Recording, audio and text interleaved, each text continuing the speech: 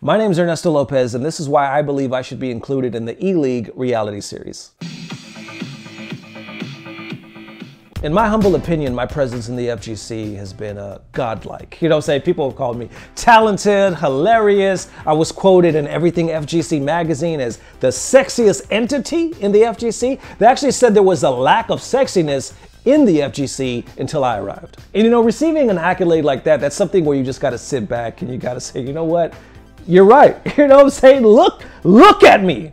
I'm here to mix it up. You know what I'm saying? So if you let me in the house, I'm gonna throw a house party in that mug. I'm gonna get some bitches. I mean, I'm sure TBS, y'all got your own bitches, but I'm gonna bring mine too. That way we can have a nice little uh, buffet of bitches. I'm currently on house arrest now, so if you guys could just like film this whole thing in my house, I just wanna see if Guilty is playing with a pad or a stick, if you know what I'm talking about.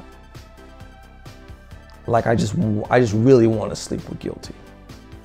Sherry Jennings, please. She's a well-known FGC female player that's very successful and talented.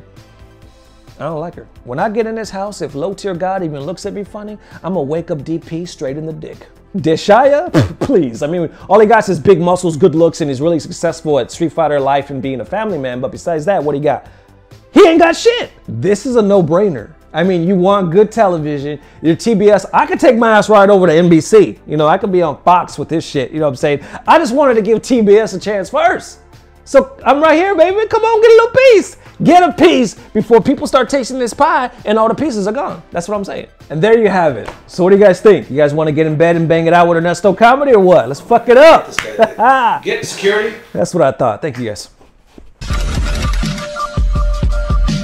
Blah blah blah. Subscribe. Mission start. So the girl's half naked and completely wasted. She's looking at us like, what you guys want to do next? I'm looking at Velociraptor. Velociraptor's looking at me, and we're just like, oh shit, the boys are back.